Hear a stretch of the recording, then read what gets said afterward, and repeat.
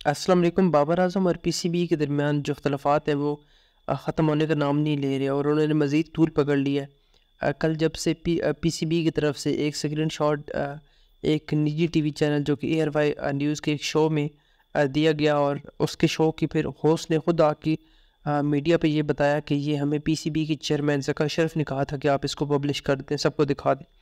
अब इसके पीछे आ, क्या बाबर आज़म की इजाज़त शामिल थी किसी को नहीं पता। इस चीज़ को लेकर फिर पीसीबी को बहुत ज़्यादा आज के दिल ट्रॉल किया गया।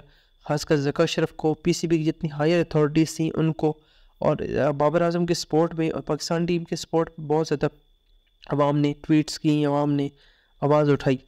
लेकिन अब इस सारे मामले में एक नया ट्विस्ट आया है और वो ट्विस्ट क्या है वो लाए हैं आमिर सोहेल राशि लतीफ़ और मोहम्मद समी इन तीनों का कहना है कि राशि लतीफ़ ने तो खैर पहले भी काफ़ी सारी चीज़ें बाहर निकाली थी, बताया था। लेकिन आप आमिर सोहेल कहते हैं कि ये जो पाकिस्तान क्रिकेट बोर्ड और बाबर आज़म के दरमियान आपको लड़ाई नज़र आ रही है, ये कोई ऐसी वैसी नहीं है या कोई अब से नहीं है कि ये कोई आज कल स्टार्ट हुई ये बहुत अरसे से चल रही है। और ये तब से चलती है जब पी एस एल हो रहा था। और पी एस एल में कुछ ऐसा वाक़ात हुए थे जिसके बाद से पी सी बी को बाबर आज़म एक आँख न बाले लगी और पी सी बी में बैठे कुछ ऐसे लोग जो बाबर आज़म को नापसंद करने लगे। उसकी वजह क्या थी? उसकी वजह ये थी कि जैसा कि आप जानते हैं कि पी एस एल के इस एडिशन में कुछ बैटिंग कंपनीज़ और गैम्बलिंग जो करती हैं, ये जो जुए का काम करते हैं, आपको सिंपल वर्ड में बता देते हैं। ये जो जुए का काम करते हैं बैटिंग कंपनीज़ हैं, इन्होंने पी पी एस एल को स्पॉन्सर किया था, हर टीम को। तकरीबन सारी टीम्स ने इनके स्पॉन्सर को कबूल किया और इनके जो लोगोस थे, वो अपनी शर्ट्स पे, अपनी जर्सीज पे लगाए। और उसकी मद में फिर बहुत बड़ा जिसे कहते हैं अमाउंट वो टीम्स ने भी ली और पीसीबी ने भी ली। और पीसीबी ने इतनी हाई अमाउंट ली कि वो मैं आपको ऐसे वर्ड्स में फिगर्स में बता नहीं सकता।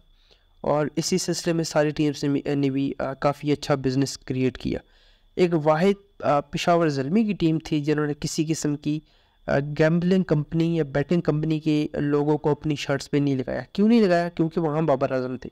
बाबर आज़म ने साफ़ साफ़ इनकार कर दिया कि मैं ऐसी किसी कंपनी के लोगों, ऐसे किसी बैटिंग या जुए वाली कंपनी के लोगों अपनी शर्ट पे तो नहीं लगाऊँगा। और फिर इसी सिलसिले में पेशावर जलमी की पूरी टीम की शर्ट पे आपको किसी किस्म का लोगो या किसी किस्म का भी कोई जिसे कहते हैं कि बैटिंग कंपनी का मार्ग या लोगो नज़र नहीं आया। वो दिन था और आज का दिन है कि बाबर आज़म पीसीबी में बैठे लोगों को बिल्कुल अच्छा ना लगने लगे।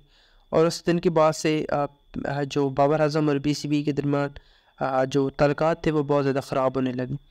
और तलक़ा ख़राब करने के पीछे वो बैटिंग कंपनीज़ भी थी जो पीसीबी को पीछे से पावर दे रही थी कि आप जो टीम का माहौल है इसे ख़राब करें। टीम का माहौल क्यों ख़राब करें?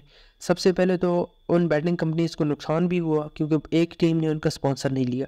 उनको नुकसान हुआ क्योंकि अब वहाँ बहुत बड़ी ऑडियंस थी पिशावर जलमी की। उनको जब स्पॉन्सर नहीं लिया गया तो बैटिंग कंपनीज़ को नुकसान हुआ। फिर दूसरी तरफ़ पीसीबी को नुकसान हुआ, उसकी वजह से जो बाबर आज़म ने इनकार किया। फिर उसके बाद उन्होंने जो स्पॉन्सर किया था वो पाकिस्तान क्रिकेट टीम को किया था। पाकिस्तान क्रिकेट टीम को जब जब स्पॉन्सर किया गया बैटिंग कंपनीज़ की तरफ़ से तो वहाँ भी बाबर आज़म ने इनकार कर दिया। कि मैं अपनी टीम में ऐसी किसी कंपनी का लोगो नहीं लगाऊँगा। वो दिन था और उसके बाद से जो बाबर आज़म थे वो इन बैटिंग कंपनीज़ के मालकान को और बैटिंग कंपनीज़ के जो हमारे पाकिस्तान में बैठे कुछ इनके सपोर्टर्स हैं ना, उनको बुरे लगने लगे।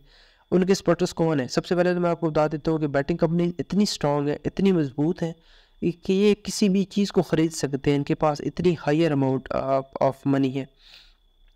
इन्होंने सबसे पहले तो आप जो मीडिया की कुछ हाउसेस थे, उनको ख़रीदा जिनमें एयर वाई न्यूज़ है। अब आपको नज़र आता है कि एयर वाई पर बैठे तकरीबन सारे बंदे बाबर आज़म के अगेंस्ट हैं। वहाँ उन्होंने ऐसे ऐसे जर्नलिस्ट हायर किए होते हैं, जो कि बाबर आज़म के केस बात करते हैं। फिर दूसरे नंबर पे उन्होंने जियो को भी अपने हाथ में लिया, ये जो बैटिंग कंपनीज़ इनकी बात करूँ, वहाँ भी तकरीबन बाबर आज़म के अगेंस्ट बात की जाती है। तो ये जो पाकिस्तान में बड़े बड़े मीडिया हाउसेज हैं ना, इनको इन बैटिंग कंपनी से अपने हाथ पे ले लिया। और उसके बाद वहाँ कुछ ऐसे जर्नलिस्ट बिठा दिए जो बाबर के अगेंस्ट और टीम के अगेंस्ट बात कर रहे हैं और पाकिस्तान टीम के यूनिटी के अगेंस्ट बात करते हैं। क्या आप वाकई इतने मासूम हैं या क्या आप वाकई इतने सादा हैं कि आपको लगता है कि शुएब जट जैसे लोग मुफ़्त में बाबर आज़म की इतनी अगेंस्ट बात करते हैं? बिल्कुल नहीं, ऐसा नहीं है। इनको अच्छी खासी अमाउंट पे की जाती है, तब ये बाबर के अगेंस्ट इतनी बात करते हैं। वरना कौन, आप मुझे खुद बताएँ, वरना कौन बंदा चाहता है कि उससे इतनी गालियाँ पड़े ठीक है बट शेब जट को पता है कि उसको सोशल मीडिया पे इतना ज़्यादा ट्रॉल किया जाता है उसको गालियाँ पड़ती हैं बट पैसे में ताकत है।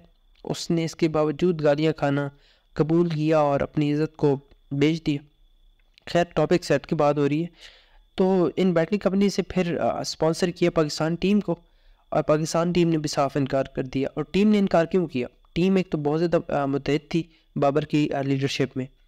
बाबर ने टीम का ऐसा माहौल बना दिया था कि वहाँ जो भी बात कप्तान करता था, वो सारी टीम वही बात करती थी।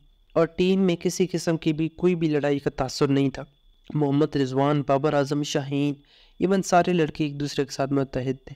तो इन बैटिंग कंपनीज़ के मालकान ने और पीसीबी ने और पीसीबी में बैठे कुछ लोगों ने यही सोचा कि आखिर टीम में फूट कैसे डाली जाए, किसको यूज़ किया जाए कि टीम में ये जो यूनिटी बनी हुई है, इसको ख़त्म किया जाए। और उसकी नतीजे में बाबर आज़म को किसी तरह साइड किया जाए, क्योंकि इसके होते हुए किसी भी बैटिंग कंपनीज़ का बैटिंग कंपनीज़ की वजह से होने वाले बिज़नेस को हम आगे नहीं बढ़ा सकते। क्योंकि ये बिज़नेस अब इतना बढ़ चुका है कि ये सिर्फ़ क्रिकेट नहीं रही।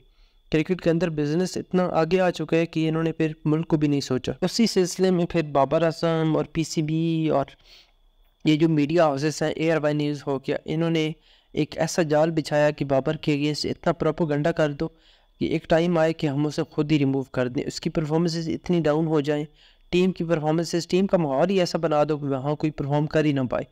और फिर यही वजह है कि टीम की परफॉर्मेंसेस इतनी डाउन है पीसीबी इनको सैलरीज नहीं दे रहा ताकि ये मेंटली मज़ीद प्रेशर में जाएँ और इनकी डायरेक्टली इनडायरेक्टली परफॉर्मेंसेस भी डिस्टर्ब हों।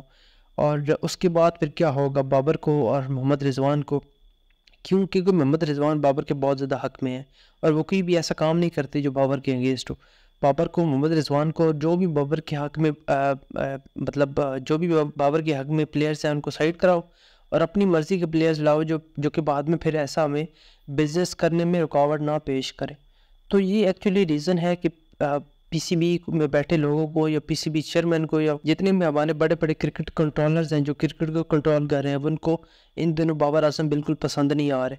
क्योंकि वो बंदा लॉयल है और वो किसी भी आराम चीज़ को प्रमोट नहीं करना चाहता।